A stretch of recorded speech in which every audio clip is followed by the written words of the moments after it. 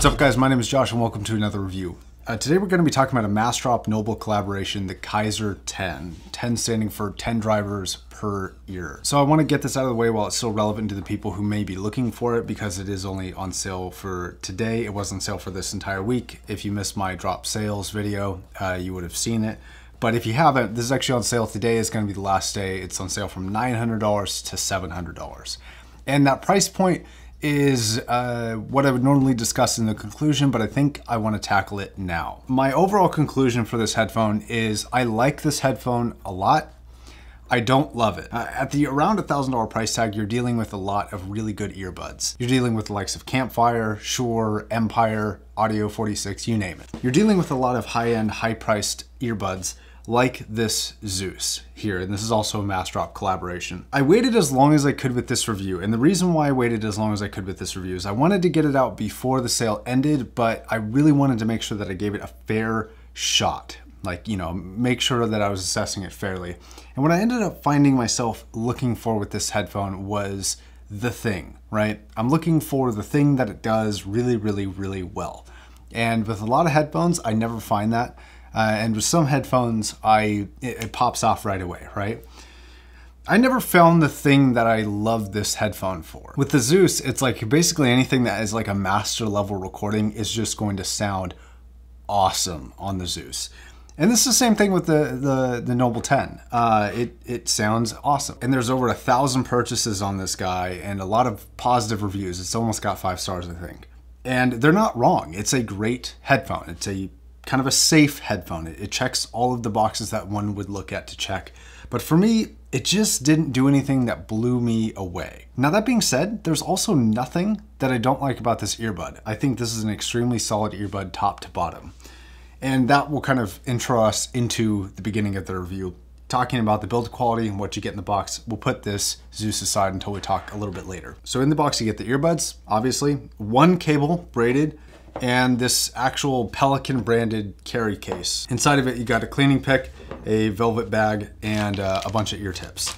And that's it. Now I had the same complaint with the Zeus over there. It does use a standard two pin and that is easily replaceable and cheaply replaceable on Amazon if you do happen to break or lose yours.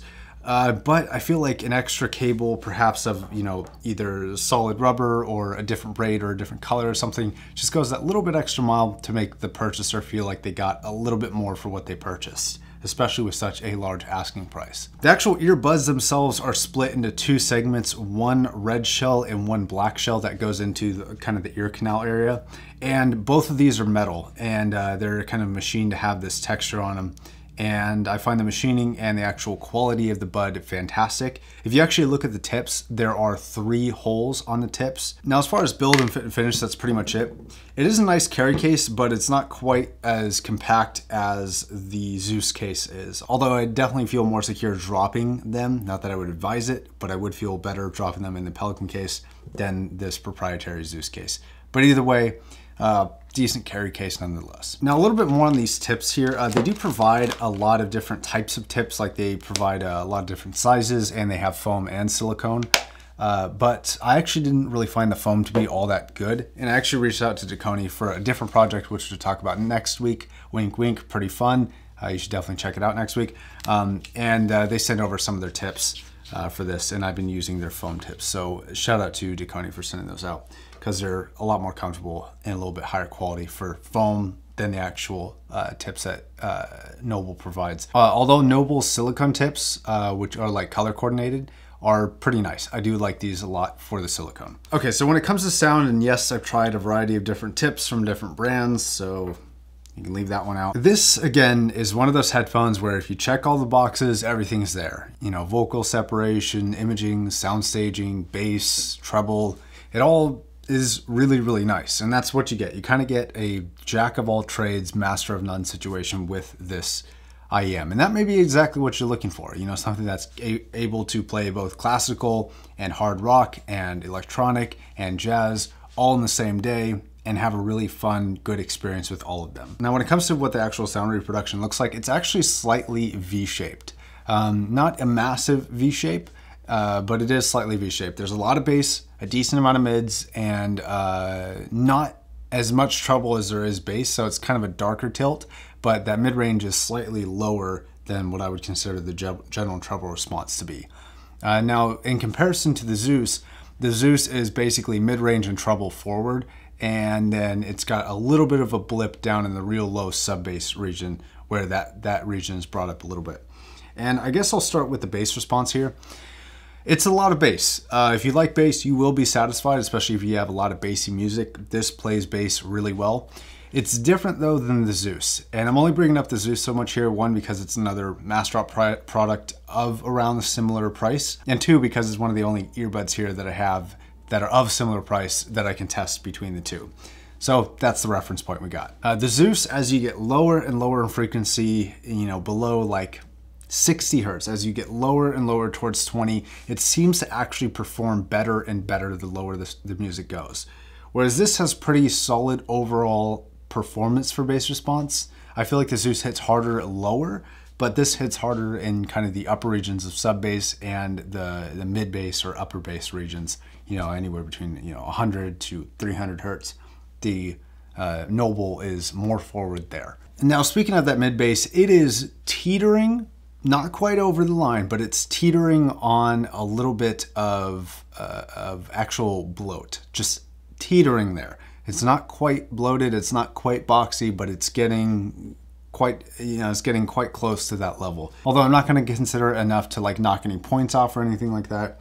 It's just something that, you know, if you get the right song, you're like, oh, okay, there's, there's a lot of bass right there. And uh, you can definitely hear it. Okay, so mid-range. Um, Mid-range is actually pretty good. It's really well controlled from the bottom end of vocals all the way to the top end, uh, including the S and T ranges of vocals. Uh, those are really well controlled and it does spike up a little bit in treble afterwards, not like, you know, super bright spikes, just like, you know, it kicks up a little bit after the S range a little bit. Uh, but the S range is very well mannered and it doesn't really come across as offensive. It is quite detailed as well. So you've got that nice level of detail and uh, not being too offensive there. And this is actually something that I like more on the Noble than I do the Zeus. Now, when it comes to actual separation, I think the Zeus does separation better, but the Noble separation is pretty good for the price, but I don't know if I would necessarily say it's like class leading or anything like that. But if you're looking for separation, you will get it in this headphone. It's just, it's not the pinnacle performance for the price range. And I think this is one of the areas where I think if they had adjusted it just a little bit, it would have been a lot more pleasing for me personally. And that would just be to give it a little bit of a mid-range boost, just a tiny bit, where vocals hit just a little bit harder and they were a little bit more forward and a little bit more focused than they are. And again, they're really focused and they're really good. I just would have preferred a little bit more here and I think that would have put me over the edge for this headphone. I would have been like, okay, yeah, this is a great headphone because of this factor.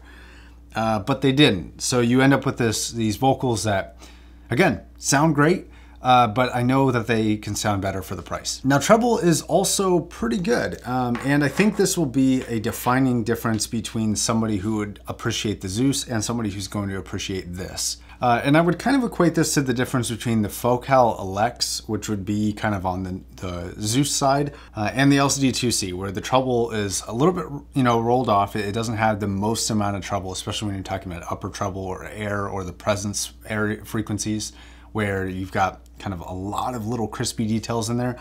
The Noble doesn't quite have that, but it provides a very detailed but pleasing, more importantly, sound quality to the treble response. It's just very enjoyable to listen to. It's it's detailed and you don't feel like it's lacking, but you kind of get the sense of like it's a little bit more chilled out there. Whereas the Zeus is like analytical all the time, doesn't care what you want. It's going to give you the information regardless of whether or not you're asking for it. The Noble you have to hunt for a little bit, um, and it can provide that information to you if you look for it.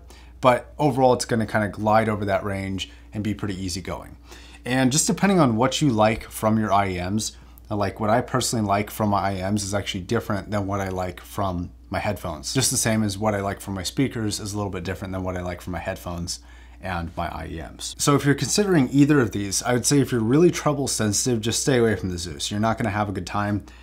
I could see just about everybody being able to stand the uh, treble forwardness of the Noble without too many issues. Similar with the LCD2C full-size headphone Whereas it's just a pleasing, enjoyable headphone to listen to. Imaging in the soundstage, and you would expect this for the money, so I'm, I'm just going to describe it and it's going to sound really complimentary, and it is, but it's expected at this price range, I think.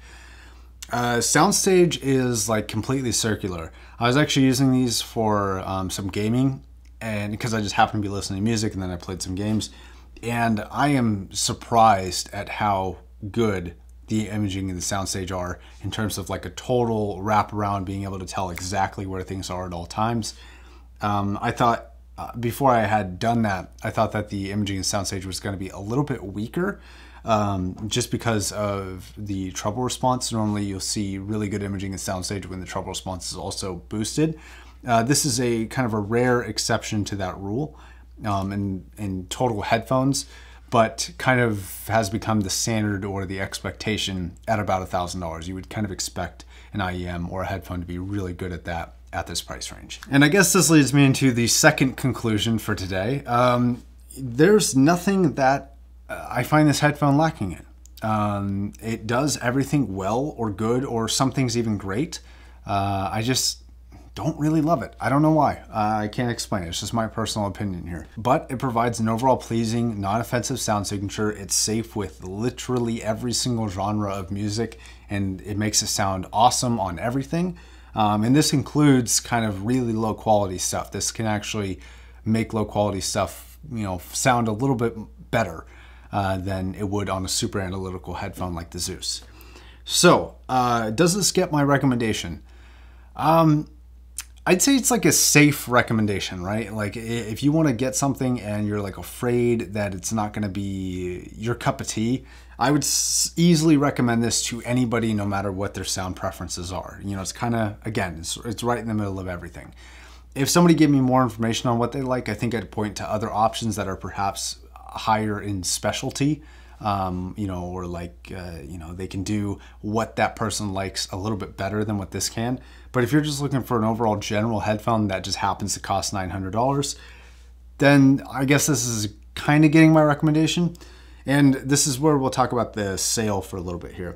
So $200 off, $700. Um, I don't love it for $900. I really don't. Uh, I don't even love it for 700. I like it a lot more for 700 than I do for 900. But I think the same recommendation at $900 is still going to stand for 700. I think you're still dealing with a competitive price point at that price or a competitive uh, market at that price point. And even at that price point, I don't find this to do anything spectacularly that I would look for. So again, yes, it's recommended, um, but it's not getting kind of really high regards at the price. Uh, so I think that's going to wrap it up, guys. I want to thank you for watching. I want to thank Drop for sending these out for review and holding the sale so that you guys can get your uh, hands on some really great gear at lower prices.